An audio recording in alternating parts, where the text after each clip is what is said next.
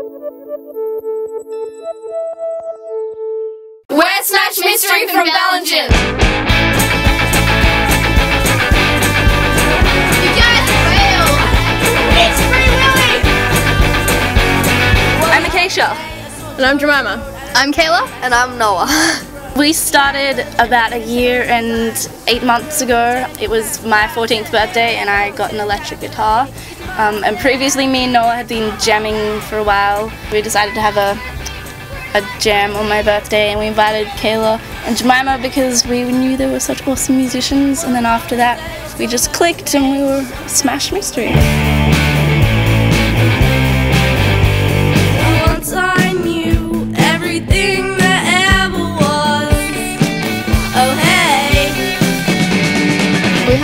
Five tracks on our EP, and it was recorded at my uncle's house in Lismore. I think we spent about two and a half days on it, and we're pretty happy how it turned out. Yeah. Especially with the short amount of time we had Yeah. to do it. So we entered on Unearthed High, like we recorded our EP, and so we were like, sweet, now I've got something to enter into on Unearthed High. And so we entered it in, and in like first week, we like were on the charts and stuff, so it was pretty exciting. I think our highest was Dolls got to number five, on the overall five charts. On the overall charts of all the bands that have entered, so yeah, we're, That was that was, pretty special. So sweet. Yeah. It was sweet. Yeah. It's time to.